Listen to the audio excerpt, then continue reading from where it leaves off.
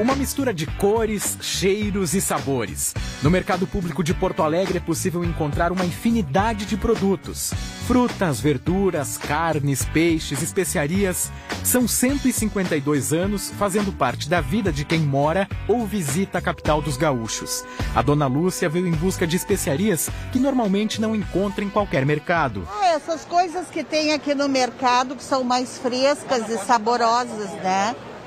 Então é isso que a gente veio buscar e aproveitar que ainda não é Natal, que não está assim de gente, e daí é mais tranquilo.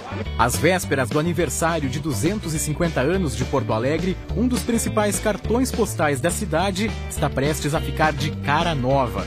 A pintura tem sete meses para ficar pronta.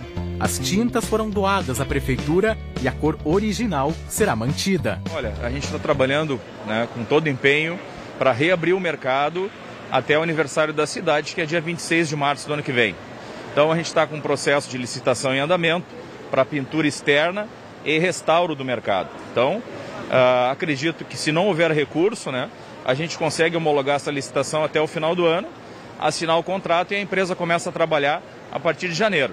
Então a expectativa é muito boa para 2022 a gente conseguir ter um mercado revitalizado, bonito, né, e funcionando plenamente, com um segundo piso também.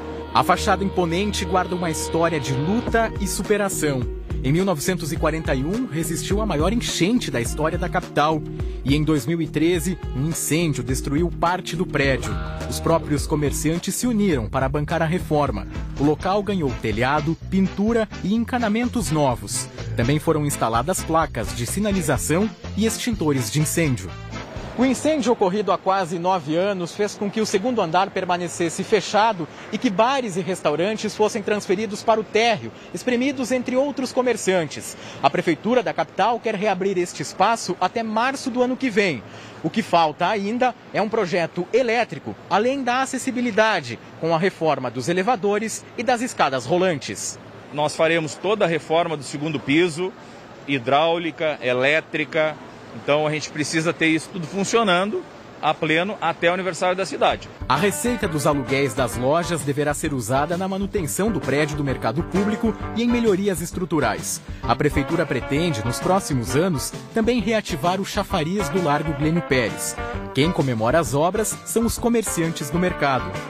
Olha, a expectativa é que vai aumentar as vendas, né? As, as, as obras vão começar já, algumas coisas já estão tá em andamento, né? A pintura, vai ser feita a pintura do prédio e a expectativa é que aumente mais no movimento. Né? O seu Valdir trabalha há 43 anos no mercado público. Uma história de dedicação que mantém a clientela fiel.